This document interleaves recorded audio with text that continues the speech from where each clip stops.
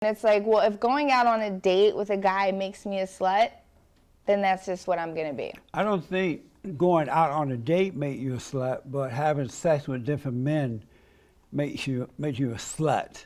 Well, what does it make you if you have sex with different women? A slut maker.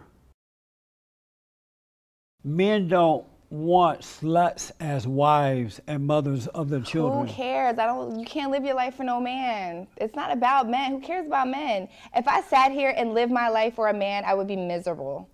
But you do understand that a man would not want a slut to be the mother of his children. That's right? not true because not real men. A, a What is a real man, man. Jesse? What is a real man? You? Uh, yes. I understand. And my actual statement is we have yet to obtain the original posts, and the employees' social media accounts appear to be deleted. From what we can gather online, the following is the basic rundown. Yes. So would you not deem it relevant that the person gathering online is in the video, the person in question said, These are my posts. Of course, these are my posts. Is that not relevant? I suppose in this, I suppose that it is, and I'm happy to quote you on that. Um, is that? No, quote. Th- no, uh, don't quote me. Quote them on it. You said you've seen the video. Quote them on it. Them saying, "Of course, those are my posts." I don't need you to quote me. This person said it. It's on camera. Is that in que- do- are, are we dis- Are you disagreeing with me on that? I, I'm confused here. I clear. I never said that I disagreed with you. so then why Please is do it not put words in my mouth. So then what is the what is the issue here? Don't quote me. Quote the person in question who said, "Of course, this is my post." Otherwise, it's activism, update- not journalism. Excuse me. Otherwise, it is activism, not journalism. Okay. Do you consider yourself a journalist? No. Okay. Um, what Do you? under this, sir? I do not appreciate the sarcasm. No. Do you? Uh, of course I am. Okay. Well, I, I, I, it was not sarcastic at all. I wasn't quite sure from this conversation. I thought maybe you were an op-eds person, which is totally fine. I have no problem with someone who's an op-ed writer, who's an opinion writer. I have no, no problem with that if it's clearly, explicitly stated in the piece.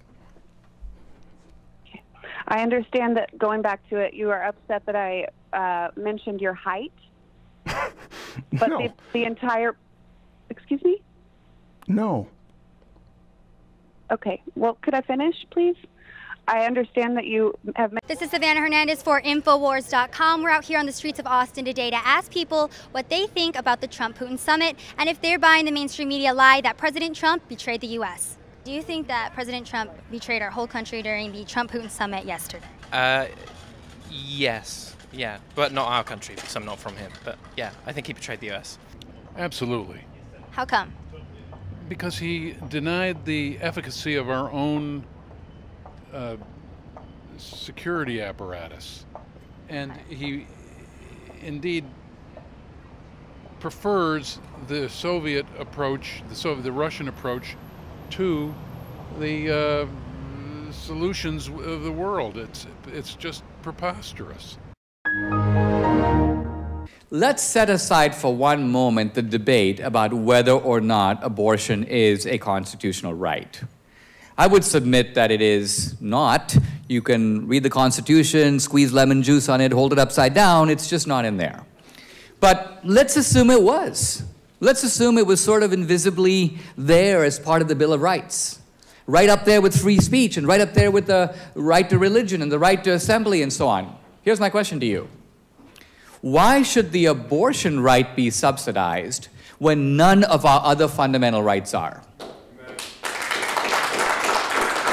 I mean, you have a right to free speech. Does the government give you money to start a newspaper? You have a Second Amendment right to own a gun. Is the government going to buy you a, a, a shotgun? You have a right to free assembly. You got to do it on your own time. You have a right to a free ex- exercise of religion. The government's not going to pay for your churches. So, since the government pays for none of our other fundamental rights, why does this right get to be in a category of itself? the power to investigate, to search, to seize, to stop, the power to allege and accuse, the power to eavesdrop and intercept private communications, the power to look through bank records, the power to look through phone records, the power to even check what books you checked out of the library. These are awesome powers that must be used responsibly because those powers affect reputations and freedom. These awesome powers are given a correspondingly high expectation that these powers will be used fairly, lawfully, professionally, and in a manner worthy of our respect. About two weeks ago, FBI agent Peter Strzok was interviewed for more than 10 hours. We learned that Agent Strzok has a most unusual and largely self-serving definition of bias.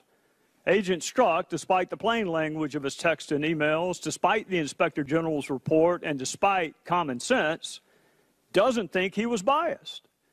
He thinks calling someone destabilizing for the country isn't bias. He thinks promising to protect the country from someone he hasn't even begun to investigate isn't bias. He thinks promising to stop someone he is supposed to be fairly investigating from ever becoming president isn't bias. He thinks talking about an insurance policy to keep someone from becoming president isn't bias. But that's for one of the folks he was investigating. He has a different set of rules for others that he's investigating. Agent Strzok thinks saying someone he is allegedly investigating should be elected president 100 million to zero before he ever interviews her. He doesn't think that's bias.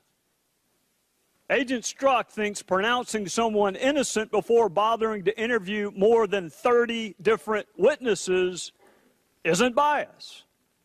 He thinks claiming you can smell the Trump supporters isn't bias, but he doesn't say a single solitary word about being able to smell the support of any other candidate. To him, that isn't bias. The moment special counsel Bob Mueller found out about Peter Strzok's text and emails, he kicked him off of the investigation. But that was a year and a half too late the text and the emails may have been discovered in May of 2017, but the bias existed and was manifest a year and a half before that, all the way back to late 2015 and early 2016. So it wasn't the discovery of texts that got him fired, it was the bias manifest in those texts that made him unfit to objectively and dispassionately investigate. So if the bias existed in late 2015 and early 2016, and it did, his unfitness to investigate existed then as well. Agent Strzok struggled to define bias for the better part of 10 hours. For the rest of us, bias is the prejudging of a person, a group, or a thing. It usually has a negative connotation, but it is a preconceived position or a prejudgment. It is the making up of your mind ahead of time based on anything other than the facts, and that is exactly what he did. Bias is saying Hillary Clinton should win the presidency 100 million to zero when she was still under investigation, wasn't even the nominee, hadn't been interviewed, and 30 other witnesses had also not been interviewed. In March of 2016, Agent Strzok had Clinton winning 100 million to zero, even though the investigation was far from being over. That is the prejudging of someone's innocence before all the evidence is in. On the other hand, he said Trump would be destabilizing, called him an idiot, abysmal, bigoted nonsense, called him a disaster, said he should F himself. Strzok promised to stop Trump from becoming president before the investigation even began. He talked longingly of Trump resigning two months after he was inaugurated and well before the special counsel investigation even began. Strzok even talked about impeachment the day special counsel was appointed. That is prejudging guilt, it is prejudging punishment, and it is textbook bias. We live in a 50 50 country and we accept that.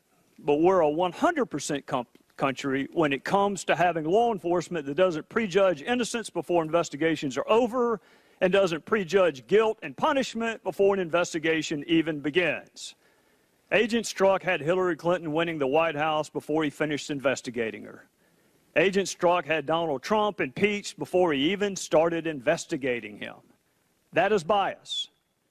Agent Strzok may not see it, but the rest of the country does, and it's not what we want, expect, or deserve from any law enforcement officer, much less the FBI.